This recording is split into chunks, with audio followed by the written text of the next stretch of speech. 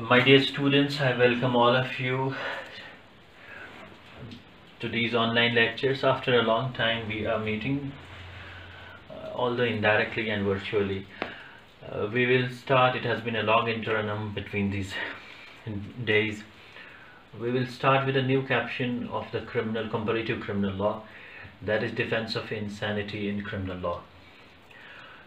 Uh, as you know, uh, before we set into the motion for these lectures, uh, I'll try to upload a lecture every day on the themes. Uh, but before we set into the motion, let's try to gain a conceptual insight through a pro note on this defense of insanity. Insanity, as you know, is actually a well established defense in criminal law and it follows from the dictum of criminal law that a person cannot be held liable uh, in for a criminal act unless he had a guilty mind or mens rea. So this insanity as a mental condition has always an effect of uh, rendering a person deprived or devoid of mens rea or mitigating the, the culpability of an accused. तो insanity दो तरह की हो सकती है। एक at the time of the commission of the act और दूसरा insanity for the purpose of getting sentenced और अंडरगोइंग द इम्प्रजनमेंट और the punishment in lieu of an offence दूसरा जो स्पीशी है जिसमें सजा के लिए इंसैनिटी का क्या ग्राउंड है, वो एक अलग क्रिमिनल जूस है। जिसमें कुछ क्रिमिनोलॉजिस्ट का कहना है कि सज़ा देना मकसद है the ultimate object of the criminal law is to inflict punishment और इसलिए सज़ा दे देनी चाहिए। क्योंकि if that person was sane at the time of the commission of the act और दूसरे स्कूल का ये कहना है कि सिंस सज़ा हम ऐसे इंसान को देते हैं मोर रिफॉर्मेटिव स्कूल्स इनमें बिलीव करते हैं कि वो इंसान बदल जाए या उसको उस सज़ा का अंदाज़ा एहसास हो कि मुझे क्यों दी जा रही है। And when a person is deprived of this capacity he should not be punished तो ये पोस्ट कन्विक्शन इंसैनिटी है। But before that insanity under criminal law पूरी दुनिया के लीगल सिस्टम्स में इंसैनिटी को एज अ ग्राउंड माना हुआ है। आपने अपने ग्रेजुएशन के कोर्सेज में पढ़ा होगा लीगल इंसानिटी और मेडिकल इंसानिटी और वहाँ हमें ये पढ़ाया जाता है कि लीगल इंसानिटी एक ग्राउंड ऑफ़ डिफेंस है मेडिकल इंसानिटी नहीं हो सकती। और लीगल इंसानिटी और मेडिकल इंसानिटी अलग अलग है a person may be medically insane but legally he might be sane तो लीगल इंसानिटी से क्या मुराद है? legal insanity is insanity which is prevalent at the time of तो पहले ये time की degree इसमें essential है at the time of the commission of the act and second uh, the gravity or the magnitude of that insanity must be that the person accused was uh, suffering from that insanity and ये insanity इस दर्जे की थी it was of such a degree that he was incapable of knowing the nature of the act Or that he is doing what is either wrong or contrary to law.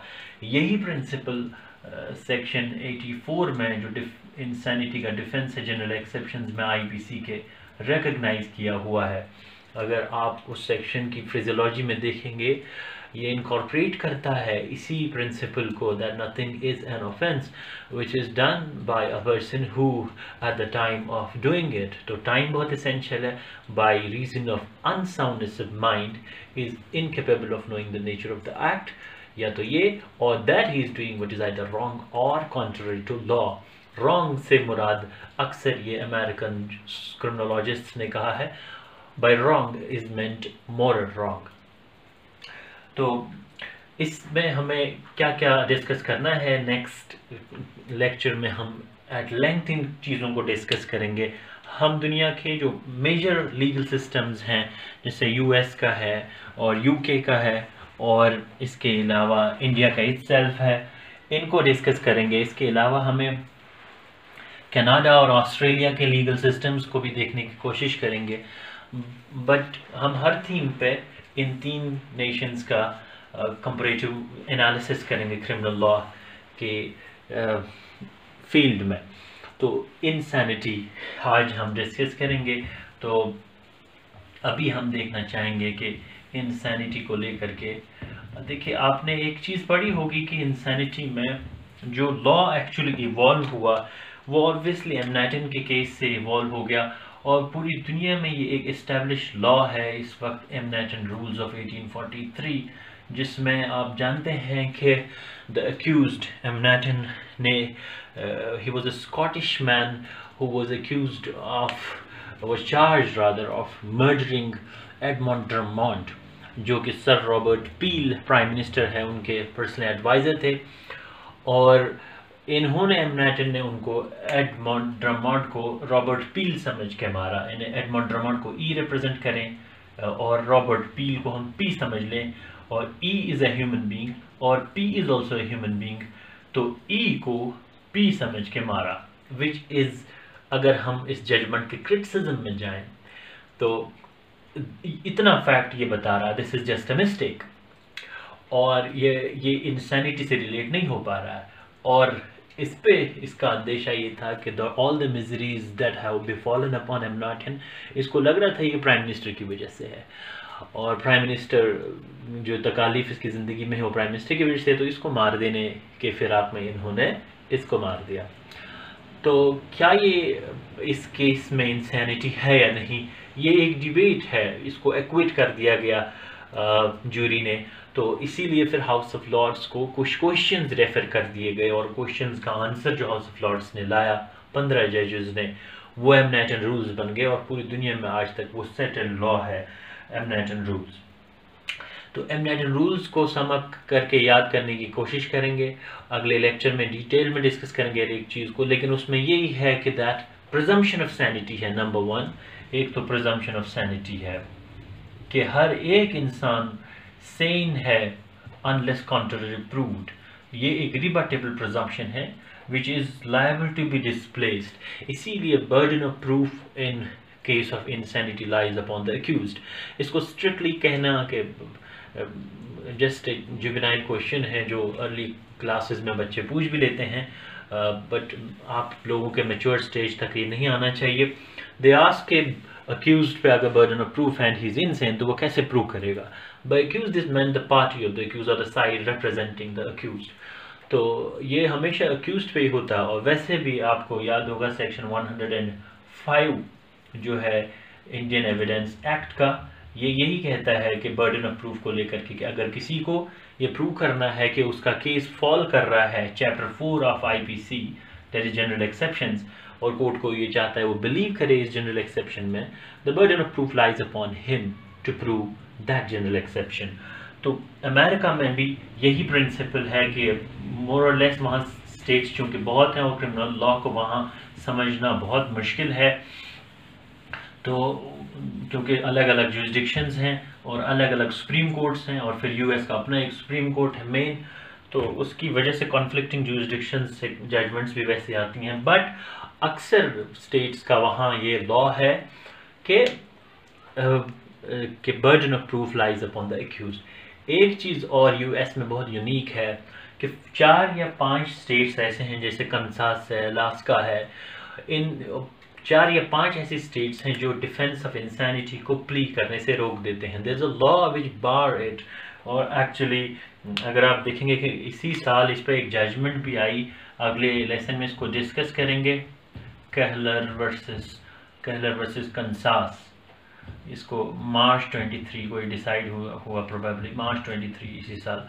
और इसमें Supreme Court of United States upheld by of I uh, probably 5 is to 4 5 is to 4 है या 6 is to 3 है probably 5 is to 4 है।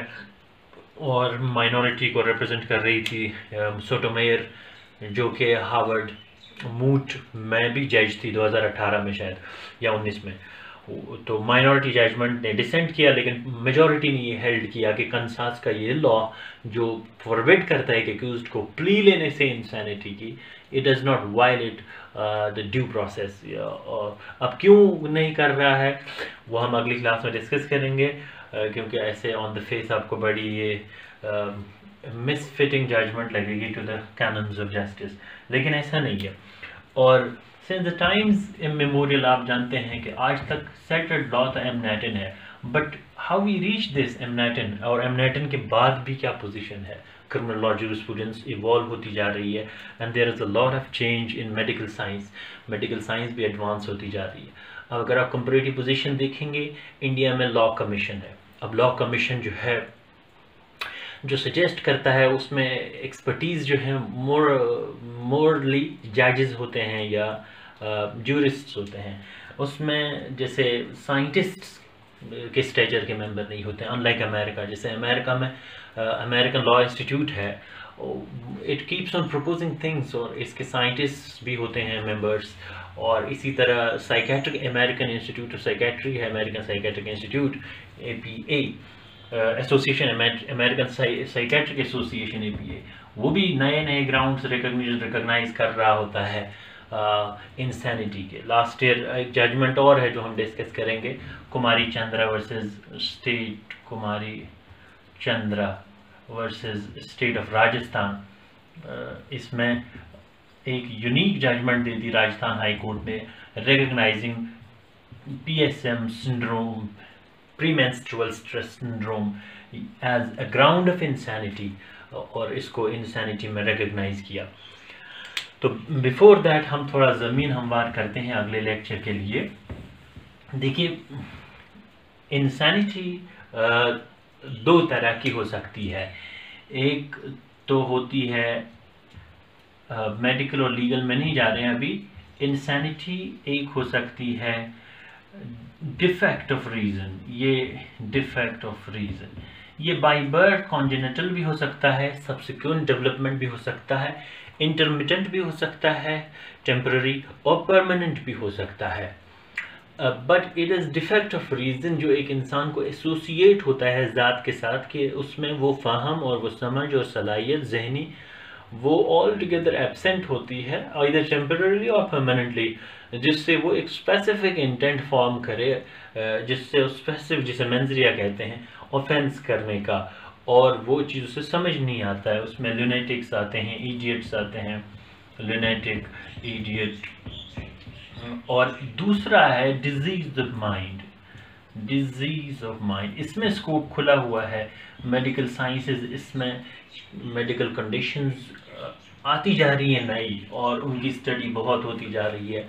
और ये एक point of concurrence है between the two fields of law and medical science जहाँ एक इंसान की दिमागी जो है, कैफियत की स्टडी करनी पड़ती है whether he can form a specific mens rea or not इसीलिए इसमें स्लीप वॉकिंग है देर आर केसेज जिसमें sleep walking has been recognised as a ground of insanity Bratty versus AG for Northern Ireland है। इसी तरह cases of hypo and hyper glycaemia है। Hypo and hyper glycaemia glycaemia ये इस तरह की डिज़ीज़ है बिकॉज़ कुछ मेडिकल कंडीशंस और साइकेट्रिक ऐसी होती हैं दैट ब्रेन जो है वो डिस्चार्ज करता है इलेक्ट्रॉन्स को बहुत ज़्यादा ऑन द फ्रंटल लोब और द ऑक्सीपिटल लोब जिसकी वजह से इंसान का दिमाग में ब्लड रश तेज़ होता है और खून के ज़्यादा बहाव से या कम बहाव से अगर दिमाग की तरफ़ ज़्यादा खून का बहाव हो गया तो ऑक्सीजन ज़्यादा बहने लगता है। ये एक मेडिकल कंडीशन है, इसमें नहीं जाना है बट इंसान थोड़ी देर के लिए ही इज़ लेफ़्ट बिरेफ्ट और incapacitated of understanding the nature of the act he is doing तो ये इंसानिटी का जो जूरिस्प्रूडेंस है वो एवर इंक्रीजिंग है एवर एनलार्जिंग है। अभी अग, और फिर कुछ टेस्ट्स को हम अगले लेक्चर में भी स्टडी करेंगे।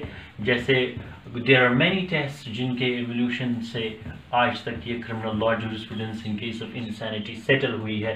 जैसे आपने देखा होगा कि अर्लियर टेस्ट जो इसका था that was known as insane delusion test insane delusion test और ये जस्टिस ट्रेसी जो थी, उन्होंने कहा था कि that if the person or the accused is under the visitation of God, uh, visitation of God and is unable to distinguish between good and evil, जिसे और यही पुराना स्टैंडर्ड था गुड एंड ईविल के बीच डिस्टिंग्विश न कर पाए though he may have committed the greatest of the offenses he is not liable और और इसी तरह फिर एमनेटन रूल्स है and there is also product test और जिसे जो यूएस का मशहूर लॉ है चूँकि M M'Naghten although UK का है but overall across the globe पूरी दुनिया में M M'Naghten rules are accepted as the base of the jurisprudence for law of insanity. Uh, तो प्रोडक्ट टेस्ट और जिसे हम कहते हैं डुरहम रूल भी Durham rule Durham versus United States में ये ले डाउन किया गया था in which this court said that the act in question must be a product of that insane insanity or mental condition अगर उसके बीच relationship uh, है the act in question and insanity or mental condition तो ground of insanity form होता है तो इस तरह से हम और जो कई सारी लीगल बॉडीज़ ने डेफिनेशंस दी हुई है। आप जानते हैं यूएस इंग्लैंड में चूँकि there is a procedural law actually जो इससे डील करता है। उनके सीआरपीसी में स्पेसिफिकली ये मेंशन किया गया है। पहले उनका, जो था मेंटल हेल्थ एक्ट 1983 था mental health act mental health act 1983 इसमें भी एग्जॉनरेट कर देता था। क्रिमिनल्स को लाइबिलिटी से और या इस एमनेटन प्रिंसिपल्स को रिकग्नाइज किया था और इससे पहले ट्रायल ऑफ़ ल्यूनेटिक एक्ट था। ल्यूनेटिक एक्ट ये 1883 का था प्रोबेबली यस 1883 का था और रिसेंटली uh, फिर उन्होंने in the last decade of the last century उन्होंने लाया फिर criminal procedure criminal procedure insanity and unfitness to plead. Unfitness to plead act 1991 का। तो इसमें ये प्रोसीजर रिकग्नाइज किया। For for just your bare perusal मैं आपको याद दिला दूँ। इंडिया में भी 1973 का जो सीआरपीसी है क्रिमिनल प्रोसीजर कोड 1973 इसका चैप्टर 25 जो है चैप्टर 25 ये रिकग्नाइज करता है इसी को। ये इट लेज प्रोसीजर जहाँ मैजिस्ट्रेट के सामने एक अक्यूज आए and he takes the plea of insanity section 328 से आगे है ये। 339 तक है प्रोबेबली या 30 339 तक है यस 328 से 339 ये ये चैप्टर सारा मैजिस्ट्रेट को गाइडलाइंस देता है, जहाँ उसको 328 कहता है कि कोई अक्यूज अगर प्ली ले रही इसकी तो उसको सिविल सर्जन के पास भेज देना चाहिए टेस्ट के लिए। तो हम केस लॉस के ज़रिए से समझेंगे, जिसमें, जैसे insane delusion test R versus Arnold में, फिर हैडफील्ड टेस्ट और फिर इसी तरह प्रोडक्ट टेस्ट और आजकल जो कोर्ट्स का अप्रोच है जैसे आप देखेंगे accused X versus state of Maharashtra है, ये जजमेंट है 2019 की सुप्रीम कोर्ट ऑफ़ इंडिया की, और कुछ प्रोग्रेसिव जजमेंट्स हैं यूएस और यूके में, उनको हम डिस्कस करेंगे नेक्स्ट चैप्टर में, और फिर देखेंगे कि स्टैंडर्ड क्या है, और फिर इसमें चैलेंजेस देखेंगे अभी मॉडर्न टाइम्स में क्या एराइज हुए हैं। तो आप तब तक अपने स्टडी मटेरियल्स को पेरूज़ करिएगा और बेर एक्ट्स को मिल जाएँ तो देख लीजिएगा। Till then have a good time